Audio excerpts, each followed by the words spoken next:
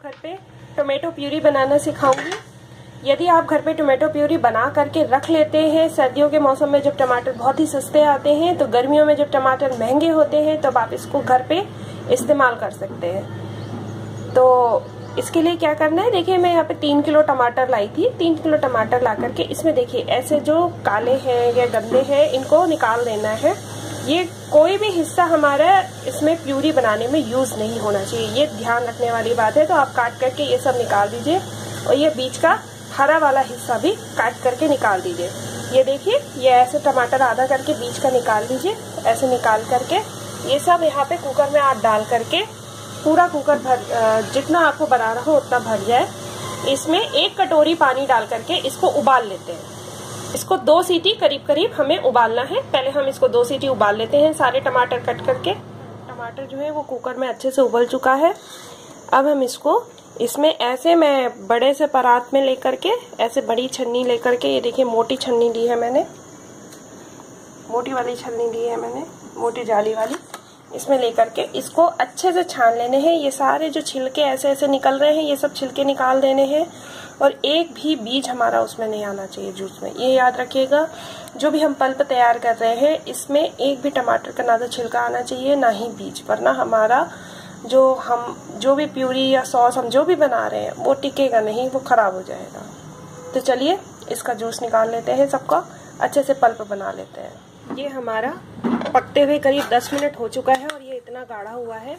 अभी हम इसे और गाढ़ा करेंगे और करीब आधा घंटा ऐसे ही पकने देंगे। बीच बीच में देखते रहेंगे, अगर ज़्यादा गाढ़ा हो रहा है तो गैस बंद कर देंगे। अभी फ़िलहाल ये इतना है तो अभी हम इसे और पकने देंगे। इसको पकते हुए आधे घंटे से ऊपर हो चुका है, करीब 30-40 मिनट समझ लीजिए लग गया होगा।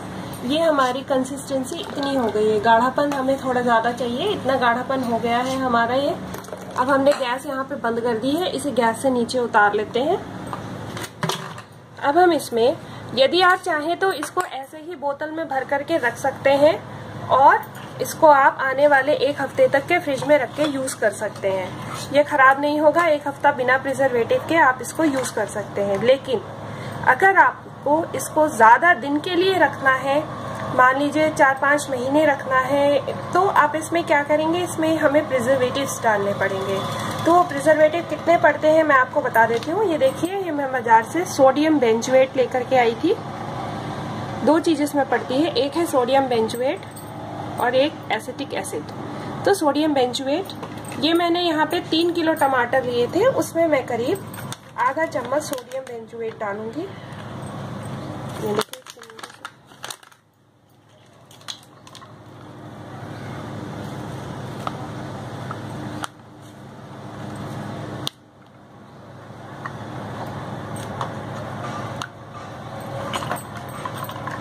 और three by four teaspoon तीन चौथाई चम्मच इसमें।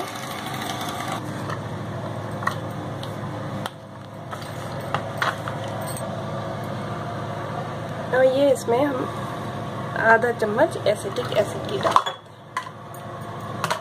बस, अब हम इसको मिला करके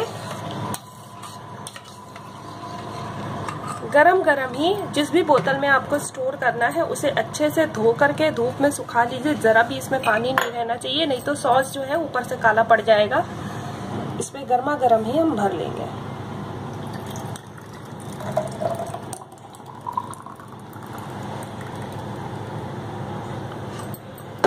देखिए, ये हमारी टोमेटो प्यूरी गर्मा गर्म ताजी ताजी बन करके तैयार है। अब आप इसमें आपने प्रिजर्वेटिव भी डाल दिए हैं। आप इसको पाँच छः महीने आराम से ये खराब नहीं होगी। आप इसको स्टोर कीजिए और जब भी आपके टमाटर महँगे हो, तब आप इसको यूज़ कीजिए और बनाइए।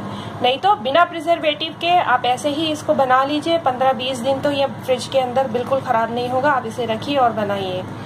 प्रिजर्वेटिव की क्वांटिटीज मैं लास्ट की स्लाइड में ऐड कर देती हूँ। आप उसमें कितना पड़ेगा, कितना नाप के डालना है, वो उसमें से आप देख लीजिए। और ये टमाटो पीरी आपको कैसी लगी, ये मुझे आप ज़रूर बताइए। धन्यवाद।